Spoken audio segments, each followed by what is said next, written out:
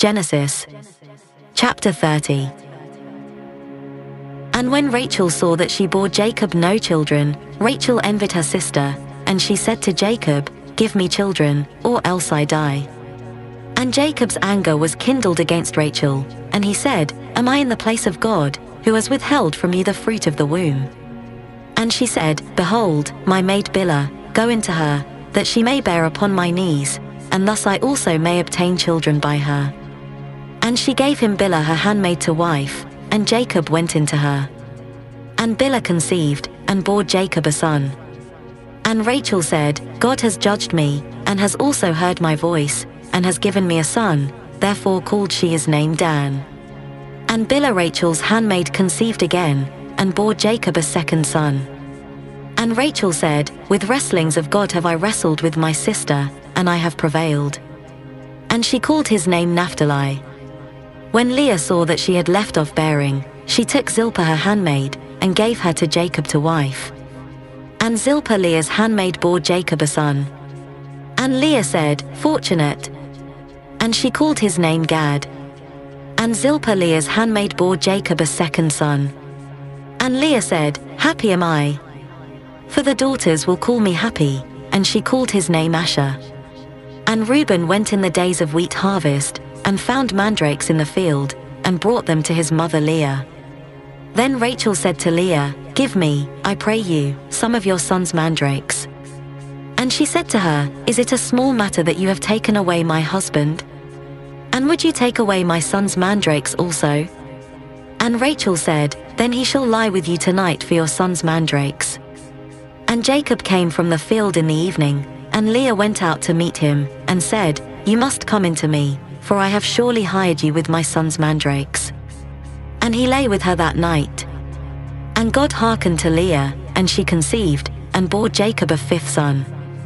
And Leah said, God has given me my wages, because I gave my handmaid to my husband, and she called his name Issachar.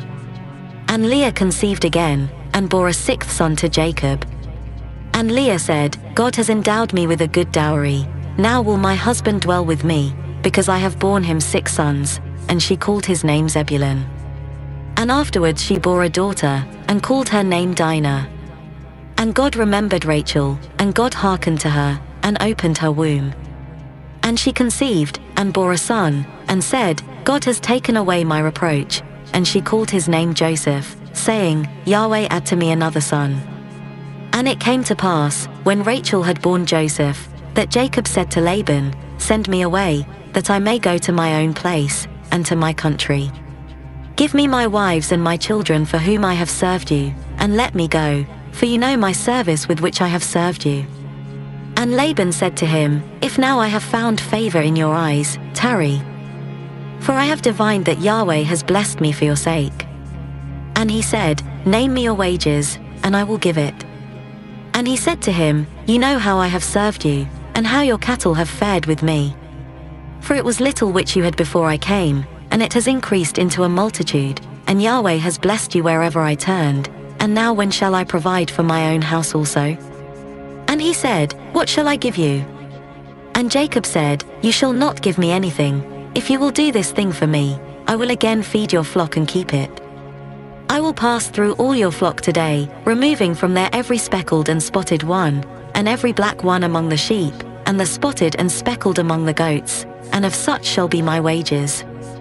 So shall my righteousness answer for me hereafter, when you shall come concerning my pay that is before you, every one that is not speckled and spotted among the goats, and black among the sheep, that if found with me, shall be considered stolen. And Laban said, Behold, I would it might be according to your word. And he removed that day the he goats that were ring streaked and spotted, and all the she goats that were speckled and spotted, every one that had white in it, and all the black ones among the sheep, and gave them into the hand of his sons. And he set three days' journey between himself and Jacob, and Jacob fed the rest of Laban's flocks. And Jacob took him rods of fresh poplar, and of the almond and of the plane tree. And he peeled white streaks in them, and made the white appear which was in the rods.